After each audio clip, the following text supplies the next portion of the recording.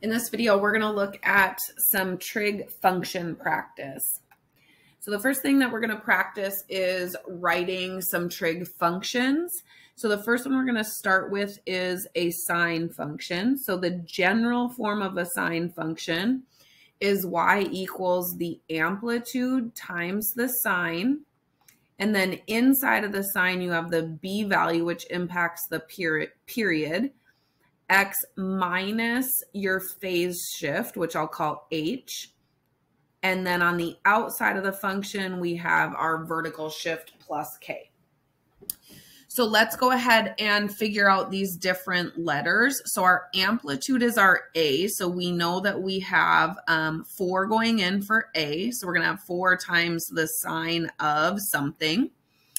The B value is found with our period. So the B value is going to be the normal period of the function you're working with. So in this case, sine, which is 2 pi, divided by the actual period that of this function we're writing, so pi.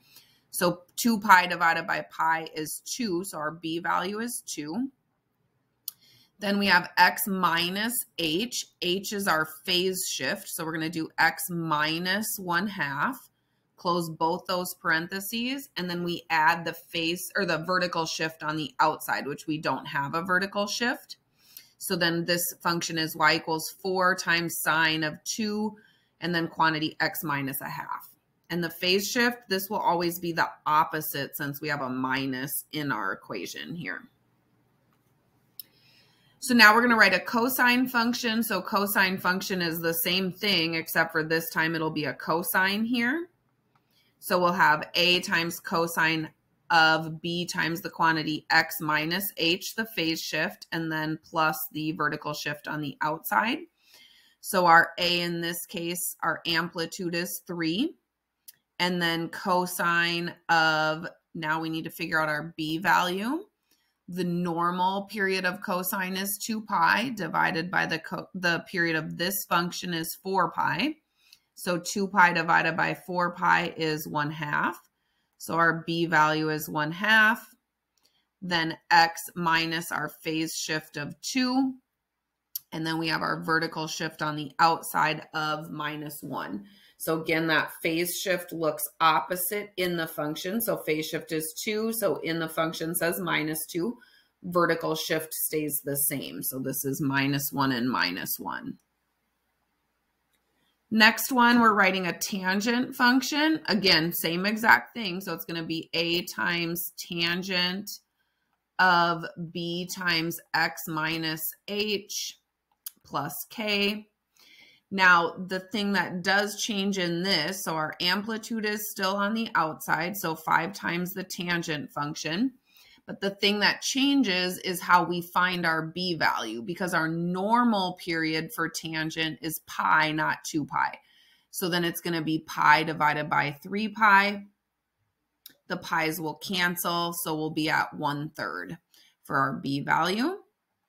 And then we have x minus the phase shift. So x minus the negative one third. So that'll turn to plus 1 third and then plus our vertical shift of 2.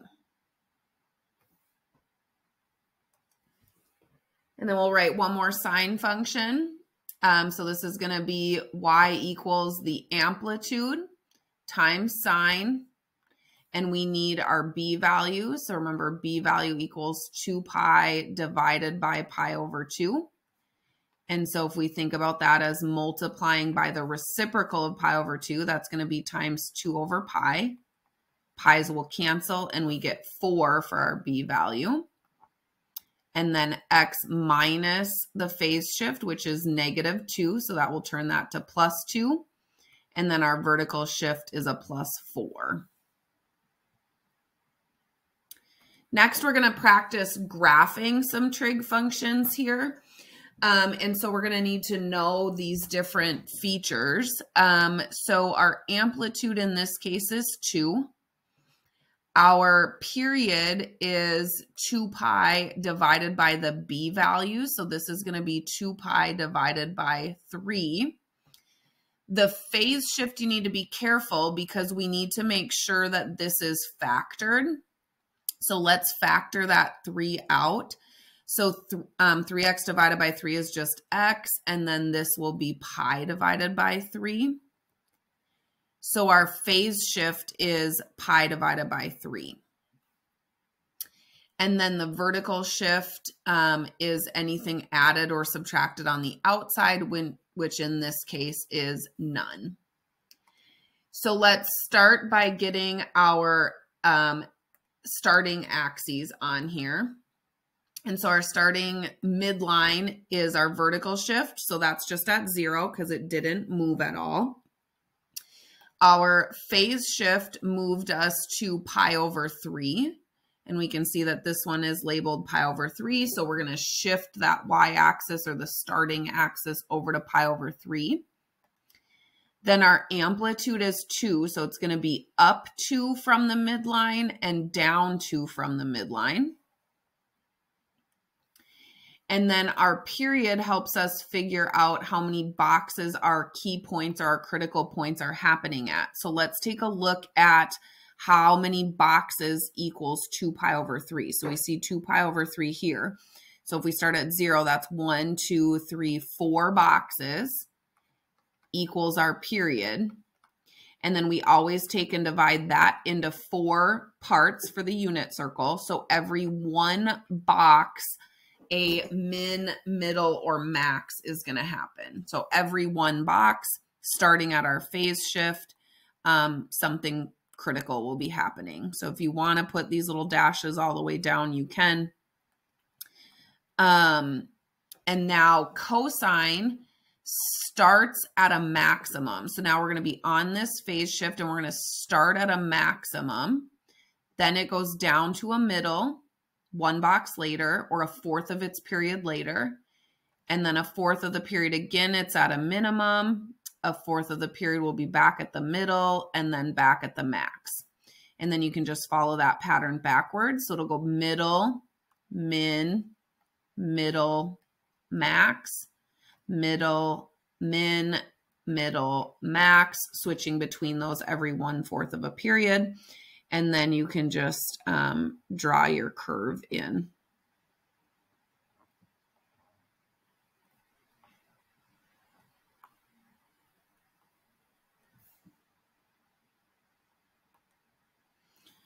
Next one, um, so this time again we have an amplitude of 2. The amplitude's always positive. This negative um, will flip our function, so we'll deal with that in a bit. Um, and then the period again is 2 pi divided by the b value. In this case, our b value is 2. So our period is pi.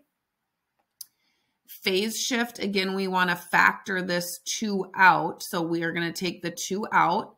And when we divide a 2 out of here, okay, we end up with x minus, and then pi over 2 divided by 2 is pi over 4. So our phase shift is pi over 4. And then the vertical shift, we have nothing on the outside, so there is no vertical shift. So when we start to graph this, our, our oscillating axis or our midline is still the x-axis because it hasn't been shifted up or down. Our phase shift is pi over 4, which is half of pi over 2. And then our amplitude again is at 2, so 2 above the midline and 2 below the midline. Then we'll take and look at our period, which is pi, and pi is four boxes wide here. So I start at 0, count out to pi, that's four boxes. Whoops.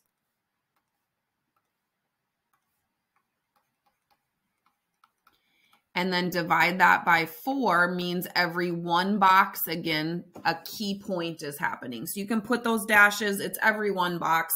So just every box, something is going to happen. Um, starts at a middle.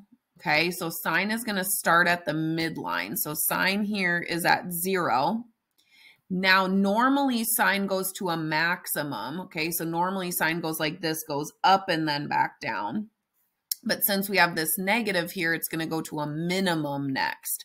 So one box will be at a minimum, then it'll be back to a middle, max, middle. And remember, every one box, we're hitting one of those critical points because one box represents a fourth of the way through the period. So then just follow it backwards. So going to a max, middle, min, middle, max, middle, min. And then you can just um, connect your points. Make sure you do curves between these because sine is sine and cosine are not straight lines between those dots.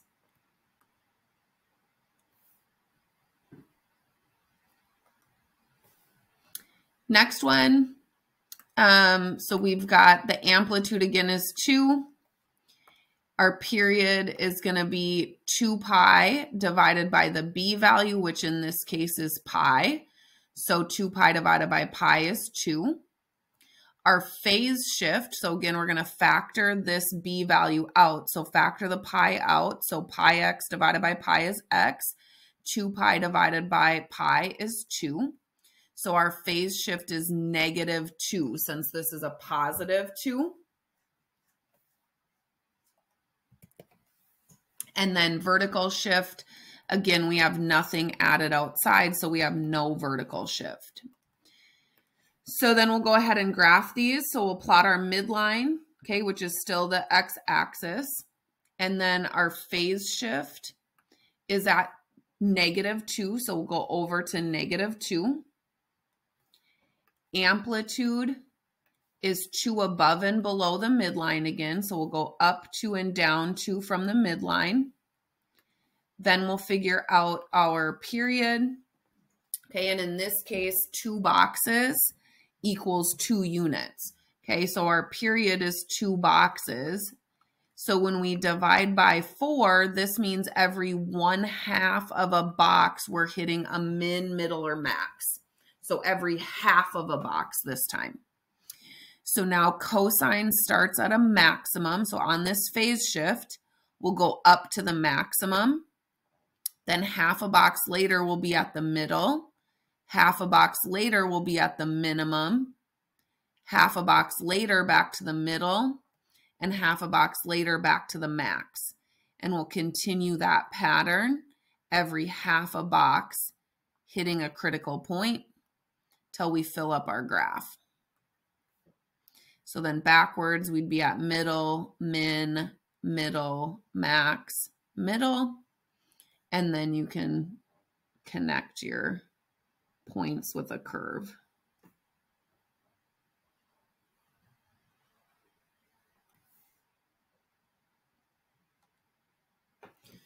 Next one, um, we have an amplitude of three this time. Again, the negative will flip it when we start to graph. Period, sine's normal period is 2 pi divided by the b value of pi gives us a period of two. Phase shift will factor out this pi. So we'll get x minus 4. So the phase shift is positive 4. And again, we have no vertical shift. So then we'll start plotting. So our midline is at 0.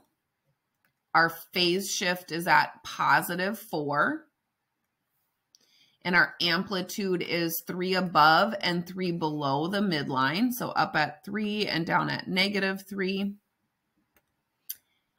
And then we'll figure out our period is two. Again, that's two boxes divided by four gives us every one half box will be a critical value, just like the last one. Um, and then sine starts at a middle. So we'll be starting at the middle. Now, half a box later, instead of sine being at its max, it's going to be at its min since we had the negative here to flip it. Okay. And then backwards, normally sine would go to a min, but it's going to go to a max. Then back to middle, half a box later, min, middle, max, middle, min. And we'll just continue this pattern until we fill up our graph and then you can connect the points.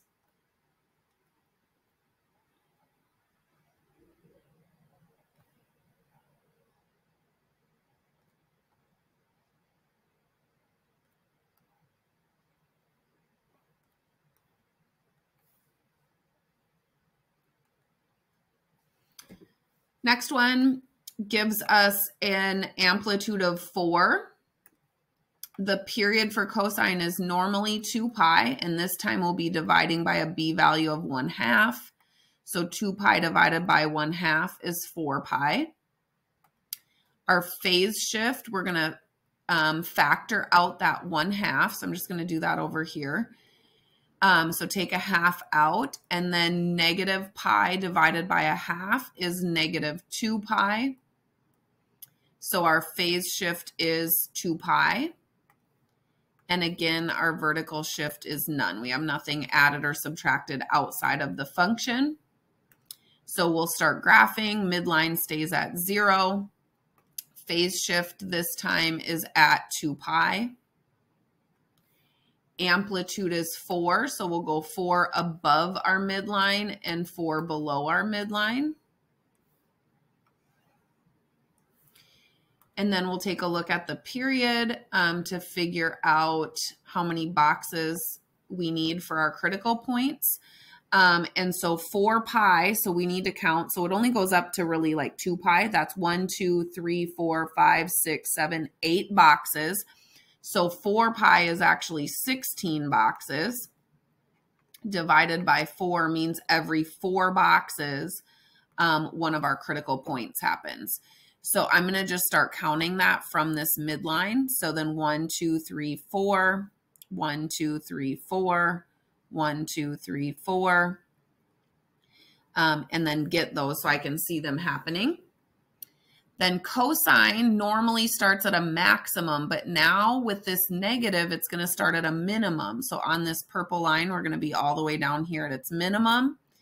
Okay, and then I don't have anywhere really to go this way. So I'm going to go back to the middle here and then max, middle, min. And that'll help me. And I can kind of draw the curve there. Um, but that'll get me my cycle there filling up the graph for that function.